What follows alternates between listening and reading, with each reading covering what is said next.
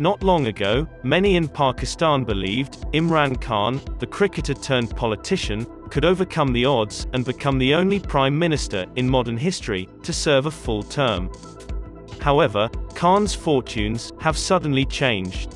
The military appears to have withdrawn its backing, and defections within Khan's own party, the PTI, and Khan's coalition partners are using the chaos to try to get better deals. Pakistan Prime Minister, Imran Khan's decision to dissolve parliament on Sunday, effectively putting an end to a no-confidence vote that was about to depose him, has put the nuclear-armed Islamic nation of 220 million people deeper into a constitutional crisis. And, along the way, Khan has drawn the United States deeper into Pakistani politics. Despite losing the support of the powerful military, coalition allies, and even some members of his own party, Khan has blamed Washington for his downfall, claiming that his independent and pro-Beijing foreign policy provoked a U.S. bid for regime change. While the opposition has petitioned the Supreme Court, the country faces elections in 90 days and its balancing act between Washington and Beijing would become a campaign topic in the country's first foreign policy election. What does Khan have to say about American meddling? Imran Khan was already anti-Washington before becoming Pakistan's prime minister.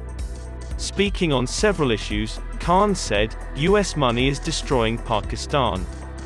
In an interview, Imran Khan said, when Barack Obama announced that American commandos had killed Osama bin Laden in Abbottabad. He said, this announcement was humiliating and national embarrassment, since it was announced by an American president, not ours. This was how the entire country of Pakistan felt. I sensed people's embarrassment and rage wherever I went. He also mentioned about that CIA director, Leon Panetta claimed that the Pakistani government was either incompetent or complicit. During an interview, Khan told The Guardian, he insisted that Pakistan should distance itself from the United States in the war on terror.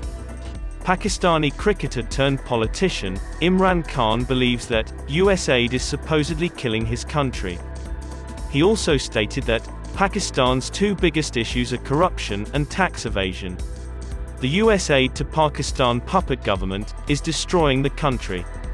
We're essentially using our troops to kill our own people using American dollars. We must break apart from the United States. Khan's narrative, the US is up to something. In a flurry of interviews, speeches, and tweets throughout the weekend, he continued to blame the United States for the country's current situation. Khan's narrative is that there is an international conspiracy to depose him. And, according to him, it is America that is truly behind the no confidence motion filed by an opposition. The drive to overthrow me is obvious US involvement in Pakistani politics, Khan stated, on the eve of the no confidence vote. He has accused US Assistant Secretary of State, Donald Lu, of being complicit in the attempt to destabilize his administration.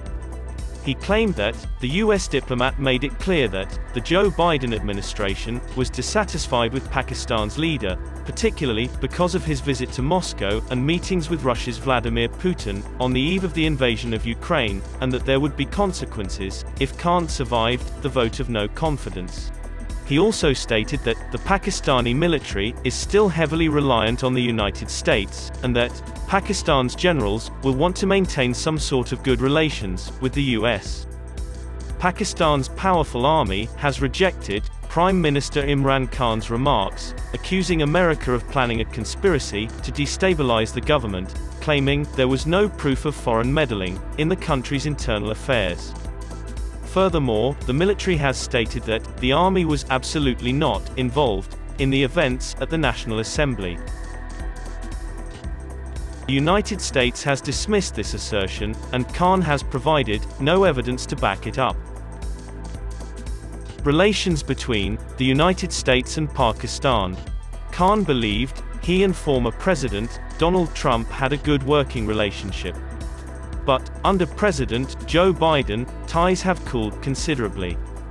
the Biden administration has accused Pakistan of allowing the Taliban to undertake attacks from safe havens in its neighbor. Khan, on the other hand, criticized Biden's administration for removing U.S. troops from neighboring Afghanistan and questioned, where are these safe havens? Khan opposed America's drone program. Pakistan's Prime Minister has found it convenient to present himself as a longtime opponent of America's drone program, which targeted terrorist sites in the northeast of the country, but has resulted in the deaths of hundreds of civilians in Pakistan. He emphasized the need of retaining Pakistan's sovereignty, claiming that no drone attacks have occurred in the country since he assumed office and he stated, even if a drone attack is attempted, I will request that, the Pakistan Air Force shoot the drone down. The United States has usually viewed Islamabad's double-edged strategy in the Afghan war with skepticism. Meanwhile, residents have become more anti-Western as a result of US military efforts, which are seen as a violation of Pakistan's sovereignty. General Bajwa's statement on the Russian-Ukraine conflict was also different from the stance adopted by the PTI government. While PM Imran stated that Pakistan would not support any country in a war, but it would take a step forward in supporting everyone wishing for peace. He also stated that Pakistan will maintain its neutrality. On the other hand, Pakistani army chief expressed grave alarm about the Russian invasion he also stated categorically that Russian aggression against a smaller country could not be tolerated. Although, the US was once Pakistan's most significant ally, but the relationship has devolved into a transactional one. After arming and supporting Pakistan as an Islamic bulwark against the Soviet Union in the 1950s and 1960s and then financing, it is a base for its proxy war against the Red Army in Afghanistan in the 1980s. The US eventually sanctioned and isolated Pakistan in the 1990s.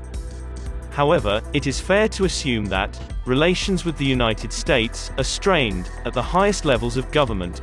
Prime Minister Khan described relations with the US as awful in a 2021 interview.